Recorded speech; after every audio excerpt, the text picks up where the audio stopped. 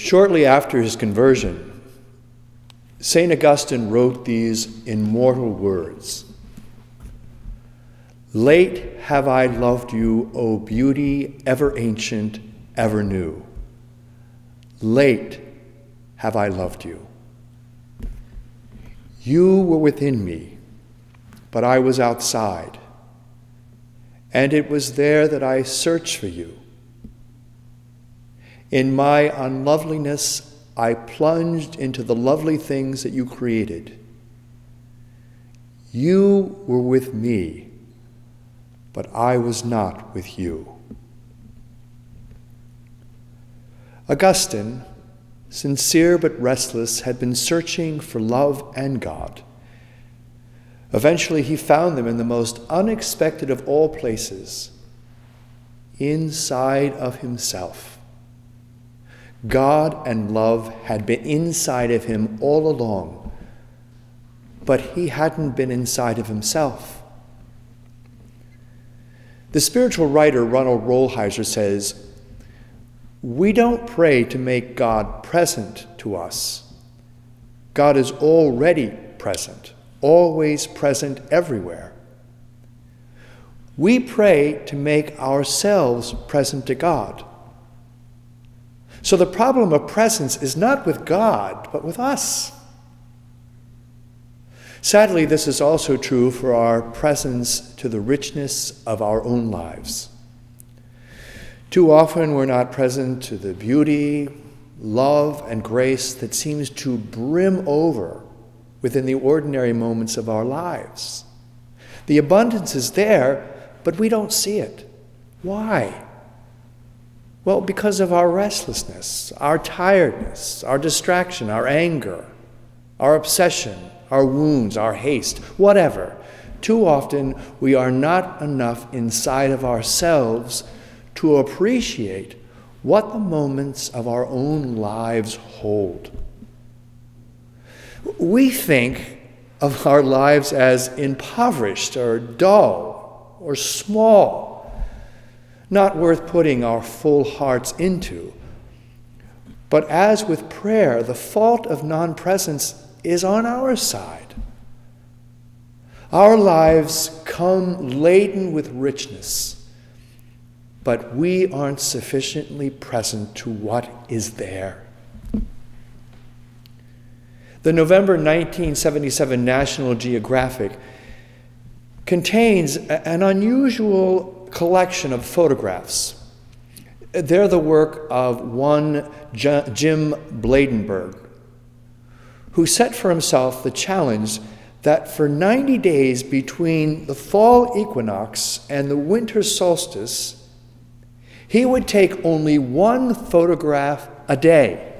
Now, you have to realize he's a professional photographer. He could have taken as much as 500 pictures a day and then chosen the best ones. But he chose to take just one photograph a day. That's a challenge. To break out of his routine pattern, which was to take many photographs, and to let go of life's clutter just to focus. To focus so that he could perhaps just see the sun one day, or see what was on the next rise, or follow the tracks in the snow. Just to break the numbness of his routine, the automatic, the frenetic approach to things. Basically, what he wanted to do was to be present, to focus, to contemplate. When we come to the gospel, we see Mary's ability to say yes to God's request happens because of her ability to be present to God, not only at this moment of the Annunciation, but during the ordinary moments of her daily life that have led up to this moment she knows the greatness of God in everything. God is no stranger to her, but is a frequent guest in her daily life, whom she joyfully welcomes into her home, her heart. The secret to prayer is not to try and make God present, but it's to make ourselves present to God. Like the young Augustine, we can wander away from ourselves. We become strangers to our own experience, looking outside of ourselves for something that, as I said before, is already inside us. The trick here is to come home to ourselves. God and the moment don't have to be searched out and found, they're already here. We need to be here.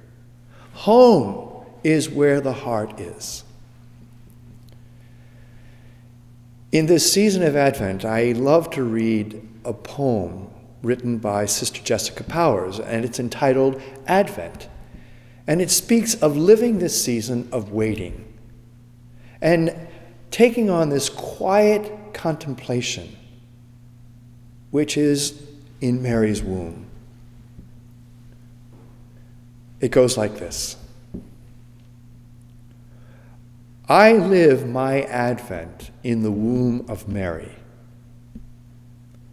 I wait in Mary darkness, faith's walled place, with hope's expectance of nativity.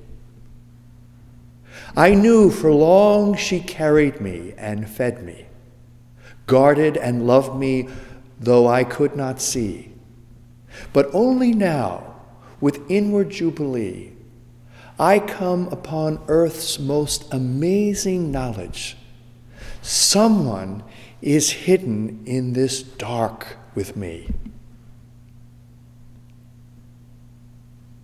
May Mary, our helper forever, aid us during this final week of Advent. Before we fall into the madness of the season, to be present to the love of God, hiding in the darkness and the emptiness of our lives, waiting to be born anew.